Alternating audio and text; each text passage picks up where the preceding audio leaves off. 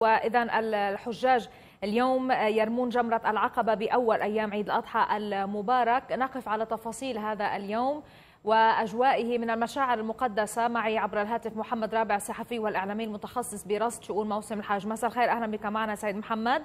ماذا يمكن أن نعرف عن هذا اليوم؟ كيف كانت الأجواء؟ طبعا حجاج بيت الله الحرام قضوا أجواء إيمانية روحانية في مكة المكرمة. طبعا بدأوا من بعد صلاة الفجر عندما صلى الحجاج في مسجد المشعر الحرام في مزدلفة انتقلوا ثم توجهوا إلى منى ورموا جمرة العقبة ثم توجه أكثرهم إلى مكة المكرمة لأداء طواف الإفاضة وسعي الحج. وقد شهد المسجد الحرام اليوم توافد أعداد كبيرة من حجاج بيت الله الحرام يقارب عددهم تقريبا بمليون حاج أو أكثر ممن حرصوا أن يعدوا طواف الإفاضة وسعي الحج اليوم حيث لا يبقى لهم بعد ذلك سوى طواف الافاضه طواف الوداع أكثرهم. وقد شهد المسجد الحرام طبعا امتلاء الأروقة وصحن المطاف والساحات كون اليوم يوافق يوم الجمعة. وانتظر عدد كبير من المصلين حتى ادوا صلاة الجمعة. ثم بدأت وفود الرحمن في مسيرة منظمة من قبل الإدارة العامة للمرور وقيادة أمن الحج ووزارة الحج وكافة الجهات الصحية والإعلامية التي شاركت في تنظيم مسيرة الحجاج وعاد أكثر الحجاج الآن في منى لقضاء أيام التروية أيام التشريق ثلاثة أيام وهي طبعا اليوم يوم العيد رموا جمرة العقبة غدا أول أيام التشريق سيرمون الجمرات الثلاث.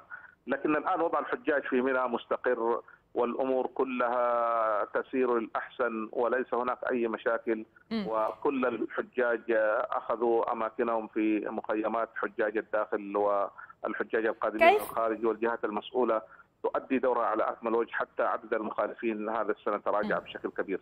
حتى لا يوجد محاولات يعني راهن البعض وربما كمواسم حاج سابقة كثيرة على محاولة تخريب الأجواء. إلى أي درجة الإجراءات الأمنية مشددة لا جدا؟ لا الحمد ولا لله الحمد لله. ليس هناك أي أمر يعكر صفو الحجاج في مكة المكرمة أو المشاعر المقدسة.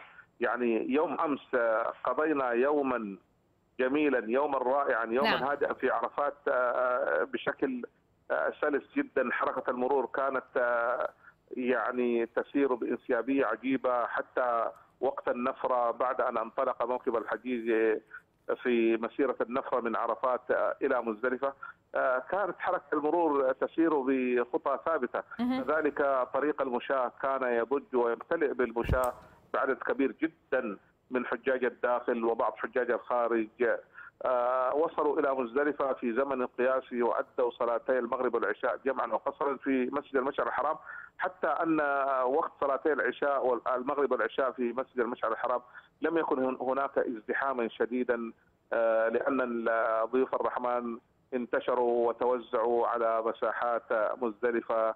سبحان الله من يرى هذه المساحة يظن أنها لا تأخذ هذا العدد لكن مهما كثر عدد الحجاج تجدهم ينتشرون وتستوعبهم. يستوعبهم المكان. نعم شكرا. نعم.